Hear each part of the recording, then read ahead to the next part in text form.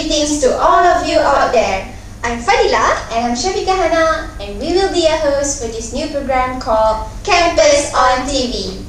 Campus on TV is a newly program produced by the students for the students and we serve you nothing but the best of information only. What's hot for this week? New semester, new beginnings, new experiences. How did the new students cope with their life on campus? We'll save that for later. Take a peek of what has been happening around the campus for the past week, in case you've been missing it.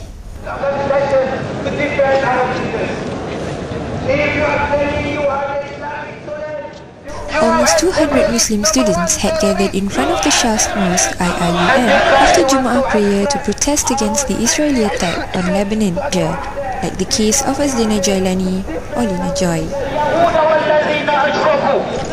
Was said aloud. The demonstration got a lot of attention and support from the other Jama'ah. Four from the students' representatives voiced their opinion regarding the issues. Brother Nazri Yunus, the PMI president for University Malaya, expressed his disappointment on Muslims being attacked by different means and ways.